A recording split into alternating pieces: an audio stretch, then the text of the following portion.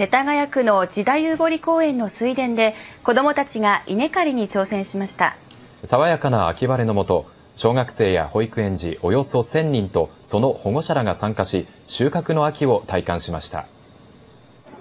稲刈りは都会の子どもたちに自然や農業への理解を深めてもらおうと世田谷区が毎年5月の田植えと合わせて実施しているもので今年で26回目となりますおよそ1500平方メートルの水田がある時代湯堀公園に地元の小学校や保育園などから子どもたちとその保護者合わせておよそ1200人が集まり黄金色に実ったもち米の稲を刈り取りました。